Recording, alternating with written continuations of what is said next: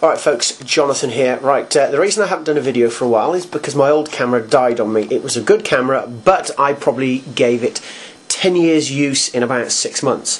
Anyway, um, more videos to follow, but I'd like to show you my new little friend. Here we go.